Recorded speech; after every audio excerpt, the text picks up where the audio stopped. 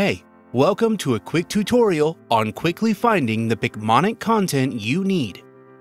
There are two major navigation paths, search and browse. To search, just click on the magnifying glass and start typing.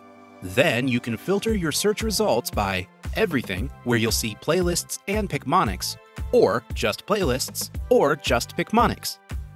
You will also be able to filter your options by all the different playlists Picmonic offers, or sort your results. Next is Browse, where all content is organized in pre-made playlists, organized by content library, books, and board exams.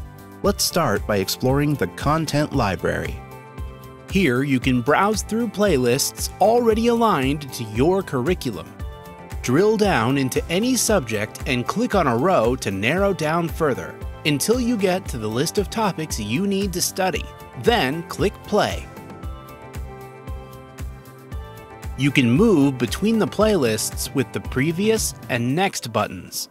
And to get back to where you came from, just click on the blue breadcrumbs up top or on the browse icon to start over.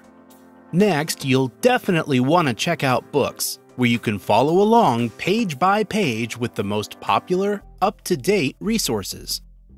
Lastly, on the homepage, you will see a quick start list that includes recommended, recent, my daily quiz queue, weakest, which displays content with poor quiz accuracy, trending, updated, and new, which displays any content we've changed or updated, and new Picmonics that are released. So overall, it's a quick and easy place to pick a topic and dive right in. Until next time, study less and remember more.